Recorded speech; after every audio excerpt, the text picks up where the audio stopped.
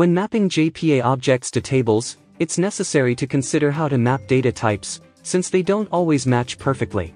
For example, you may need to map smallint columns to Boolean attributes.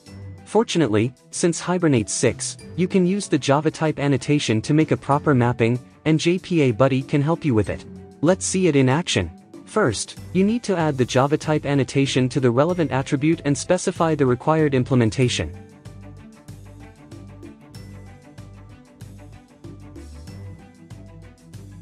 Next, you need to configure JPA Buddy type mappings.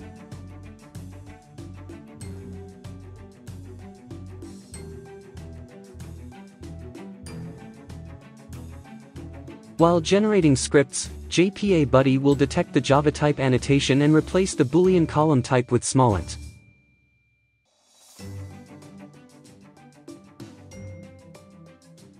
JPA Buddy makes it work for both Flyway and Liquibase.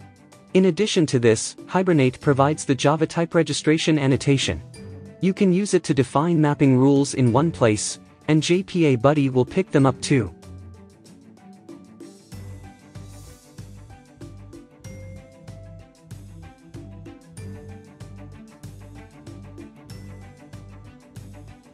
Fantastic! Moreover, you can configure JPA Buddy to apply the Java type annotation while reverse engineering.